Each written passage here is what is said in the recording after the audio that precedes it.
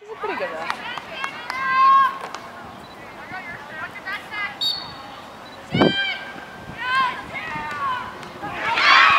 Probably should have passed that one.